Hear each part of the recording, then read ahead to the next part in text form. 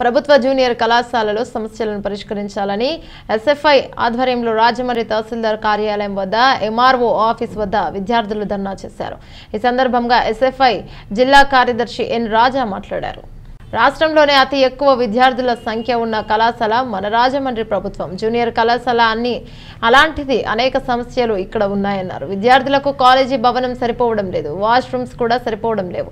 పురాతన భవనం నుండి పెంకులు రాలి విద్యార్థులకు తరచుగా గాయాలవుతున్నాయన్నారు. కాలేజీ గ్రౌండ్ లేకపోవడం వల్ల గేమ్స్ పీరియడ్ జరపడం లేదని తెలిపారు. చదువుతున్న రెండు వేల మంది విద్యార్థులు కాలేజీకి సరైన సమయంలో ఆర్టీసీ బస్సులు రాకపోవడం వలన కాలేజీకి ఆలస్యం అవుతున్నారని తెలిపారు. కావున ఇది సమస్యలతో విద్యార్థులు అనేక ఇబ్బందులు పడుతున్నారని ఈ సమస్యలను పరిష్కరించాలని మౌలిక సదుపాయాలను కల్పించాలని డిమాండ్ చేశారు.